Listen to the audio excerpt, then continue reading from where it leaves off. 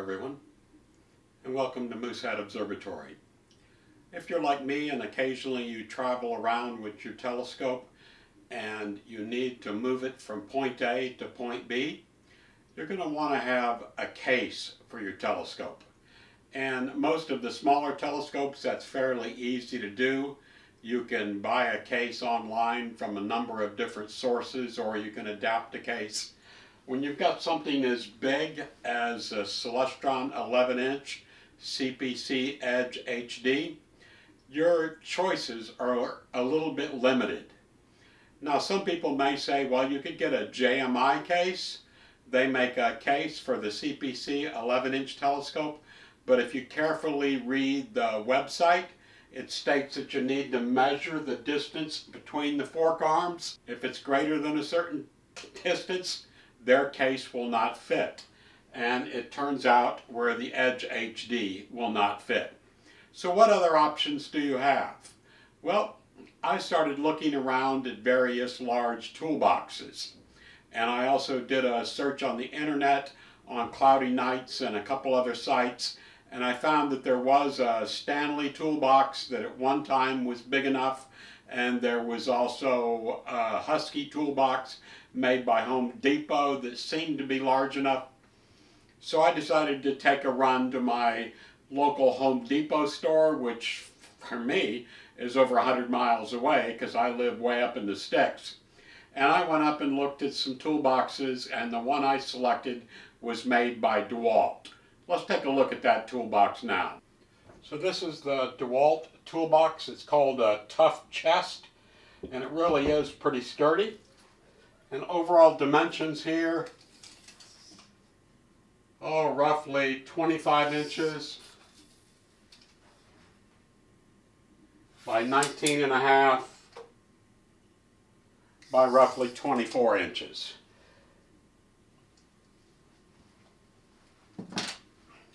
As you can see, it's, it sits tall enough that you can actually use this as a table once you take your telescope out and you're on site. And you can also use this as a chair to sit on while you're uh, drinking your favorite beverage or waiting on your camera to take a picture or something like that. It has these big sturdy latches on the side and it also has a set of wheels down here on the bottom.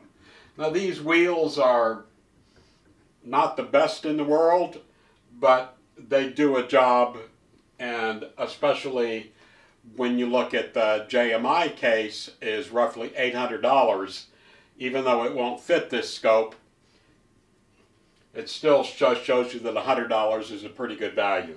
Let's take a look inside.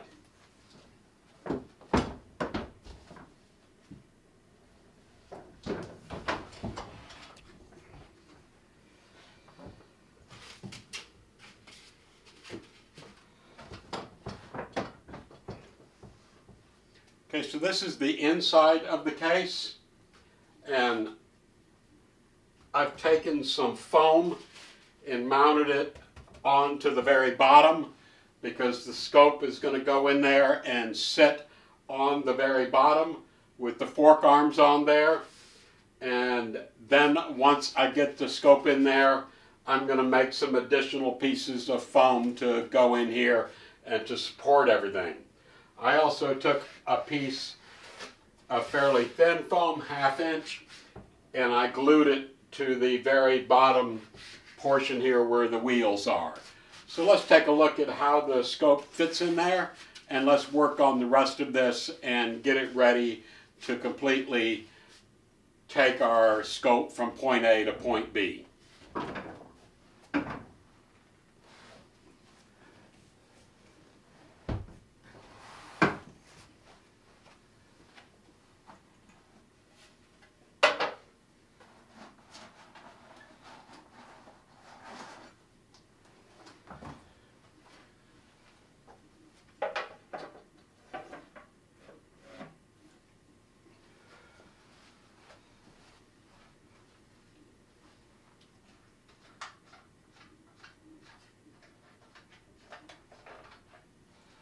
I am going to take my finder scope and Telrad off of the main scope.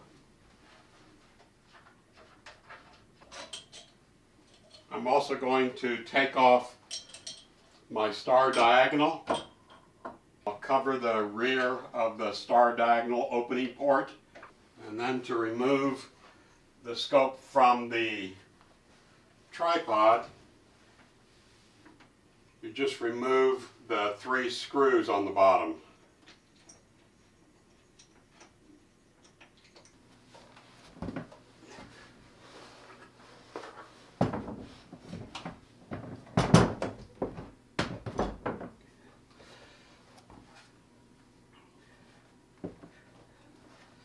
In order to fit in here, it needs to go in there just a little bit tilted to one side.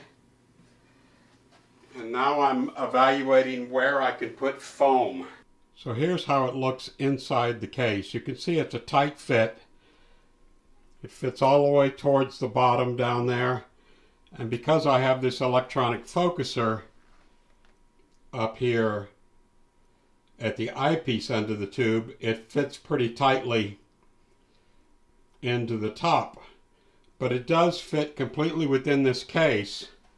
And I think the best solution is going to be just to make some foam inserts to go in and around the tube.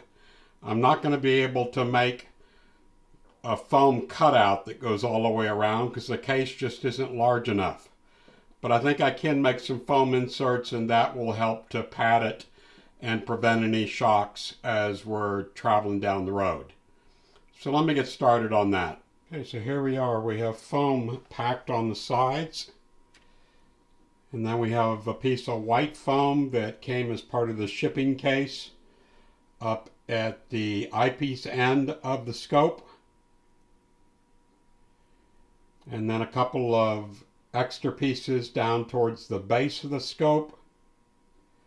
And then I have a piece of foam. Now the stuff on the side is called polyethylene foam and it's a little bit more dense than your simple type of foam like this stuff. But I'm going to use this on the top. Just tuck it in like that. And then the case.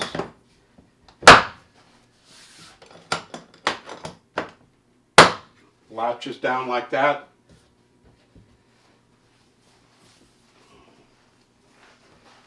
It does have a handle down on this end that you can pick it up and then you can move it from point A to point B. It's advisable to only let it sit either on the base or on the bottom over there so that you're not tilting your case up onto the eyepiece end.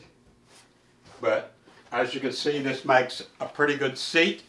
So you can sit down, you can also put your star charts here, things like that. So this makes a really good little table for out in the field, even after you take the scope out and put it onto the tripod. As I say, you can uh, stand it up on end.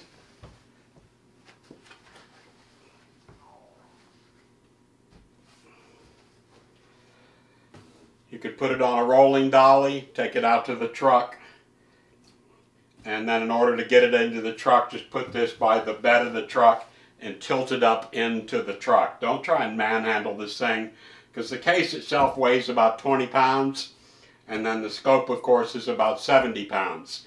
Now there's enough room left in here to be able to include the, the flexible dew shield and then the other things like the Telrad and the finder scope, I'll put those away in my other cases.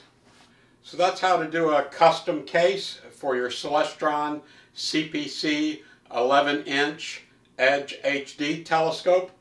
I paid $100 for the DeWalt case at Home Depot. I think it was $99.99. You may be able to get it cheaper if you watch for sales and things like that. Uh, I did look on Amazon and it was roughly the same price, maybe a couple dollars more to help cover the extra shipping cost. If you haven't seen the video about the hoist on how I get the scope on and off the tripod, I'll link that up here in the corner.